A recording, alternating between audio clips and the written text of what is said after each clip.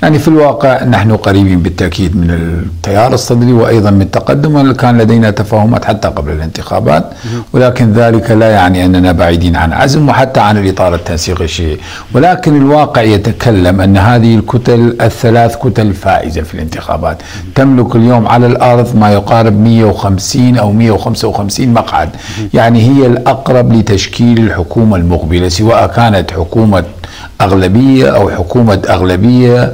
أو توافقية بثوب الأغلبية. أنا في رأيي وقد أكون مصيب أو مخطئ بأن التيار الصدري سيأتلف مع قسم من الإطار التنسيقي الشيعي ومع الكرد ومع السنة وسيشكلون الحكومة وهذه الحكومة حسب رأيي ستكون الأسرع تشكيلا والأيسر والأسهل لأن هناك مقومات كثيرة على الأرض أهمها عدد كبير من المقاعد النيابية ولكن من يقول بأن الكتلة الصدرية فقط ستأتي من الشيعة للمشاركة في الحكومة أنا لا أتفق مع هذا الرأي. بالتأكيد الكتلة الصدرية ستتحالف مع كتل أخرى من الشيعة وستستثني بعضهم ليذهبوا إلى المعارضة وهذه المرة سيكون هناك معارضة حقيقية داخل البرلمان إن كان عددها مختلف سواء 50 أو 80 أو 90 نائب ولكن معارضة ك نواة أولى لنظام برلماني حقيقي في السابق طيب. لم يكن هناك نظام برلماني كان هناك حكومات يشترك فيها جميع وكلهم في المعارضة وكلهم في الحكومة